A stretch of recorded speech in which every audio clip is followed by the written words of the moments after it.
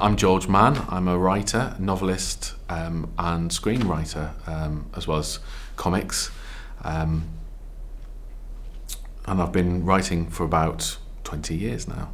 So I tend to write in genre, so dark fantasy, horror, and science fiction. Um, and I've, I've got I work in tie-in in terms of kind of Star Wars and Doctor Who um, and Warhammer, but I also write original fiction as well.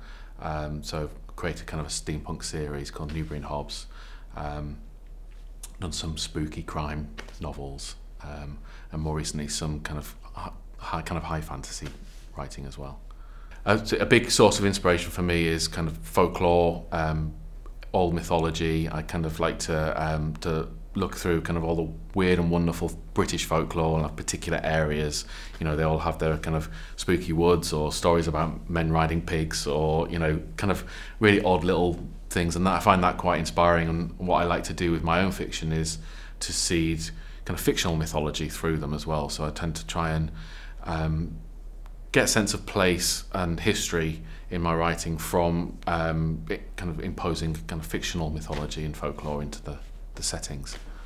The thing I'm probably most proud of is the Newbury Hobbes series, um, which is a kind of Victoriana alternative history um, series, and, it, and, it's it's novels and it's comics, um, and it's inspired by kind of Sherlock Holmes, um, Hammer horror, Doctor Who, kind of all intermingled. I put all my kind of passions into it.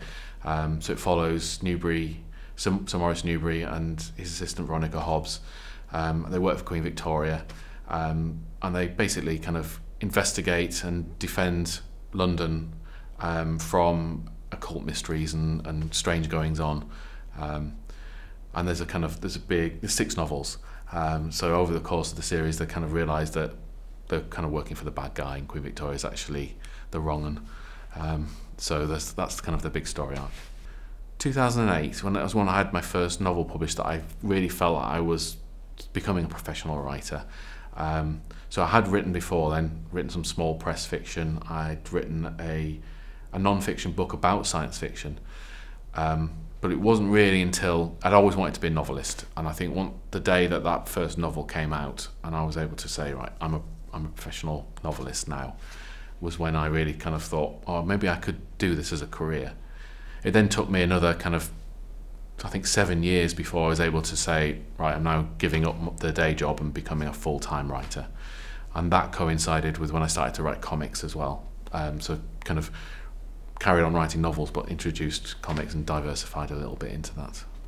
So my favourite story, um, it changes over the, over the years, but the, the thing that I've been consistently coming back to kind of over the last five years is a, um, a novel series by Steven Erikson called The Malazan Book of the Fallen.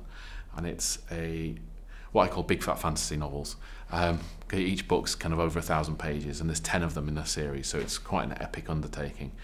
But um, for me, the the characters, the the heart that that, is kind of is captured within that story, um, and the um, the scope of it and scale of it, and the way he he's an anthropologist and archaeologist, um, and he has imbued his setting with such a sense of history and kind of ancient races and overlapping history um, and that great stories have gone before. A bit like Tolkien did but he does it all within this kind of within the scope of the novels rather than writing kind of all the appendices and things that Tolkien did with Lord of the Rings.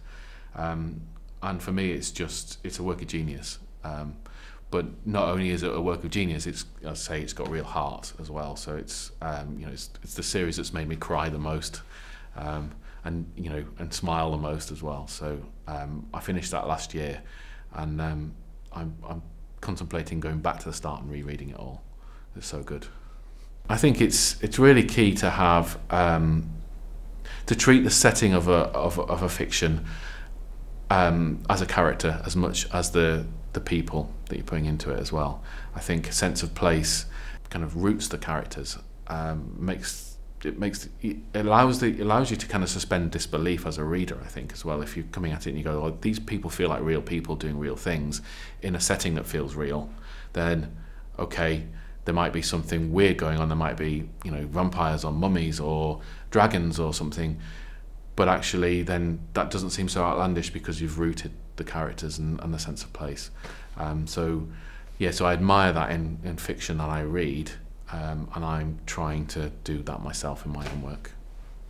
So my dream collaborator would probably be um, this is a very different answer to, to what I've been talking about so far, but um, would probably be Humberto Ramos, the artist, um, who did a big run on Spider-Man um, with Dan Slott, um, and I just I absolutely adore his artwork, um, and I want to write a Spider-Man story for him to to illustrate. That that's that's kind of a dream gig for me.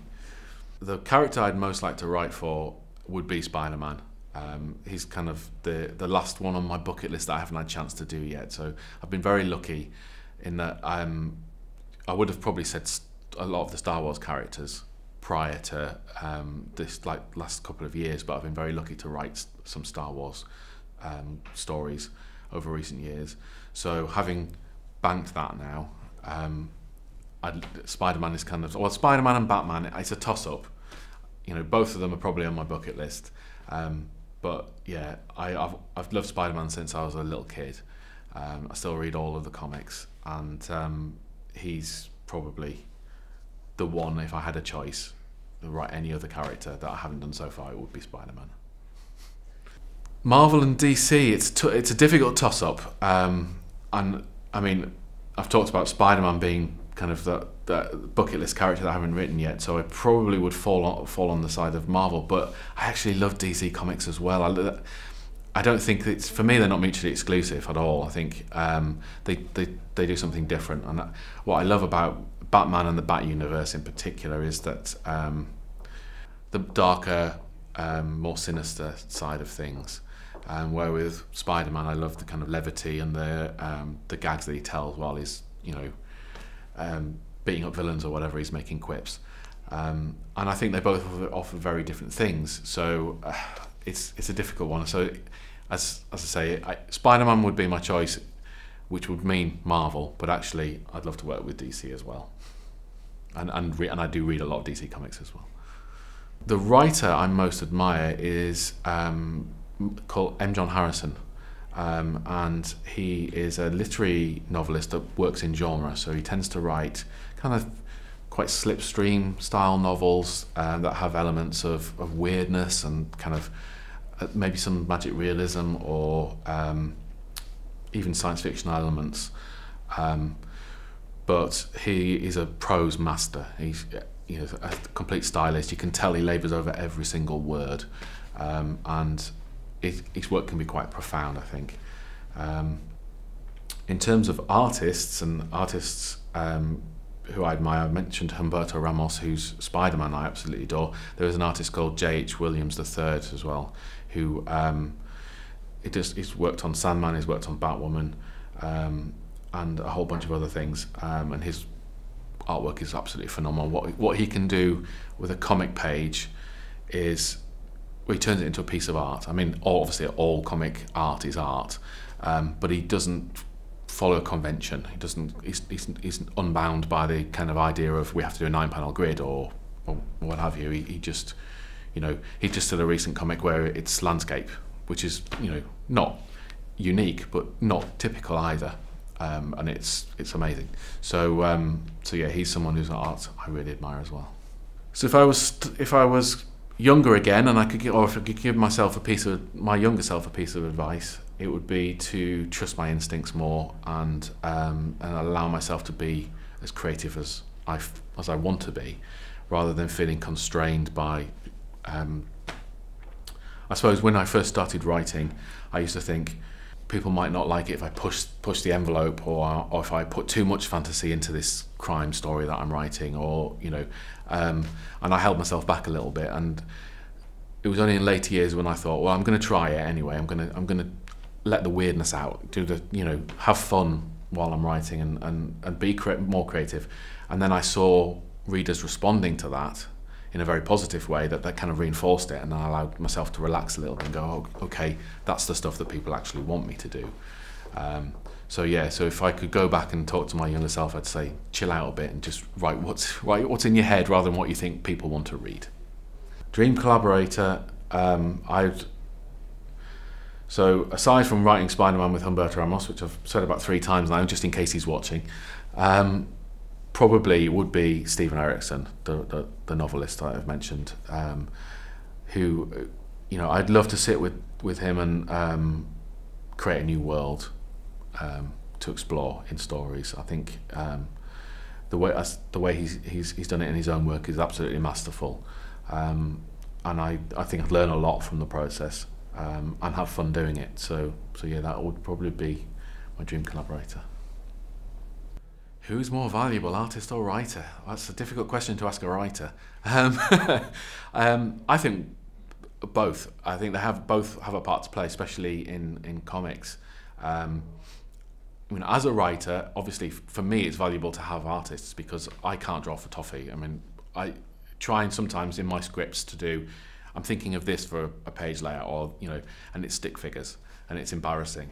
Um, but I'd love so I'd love to be able to to draw my own comics. I can't. So for me, it's very valuable to have artists and artists who are uh, able to, you know, not just not just draw what I've written, but bring their own artistic flourishes to it and and their knowledge and experience to it. Um, you know, a, a comic is a collaboration in the truest sense of it. And you know, when I write a script, I'm I'm writing it for the artist. I'm not writing it for the end reader.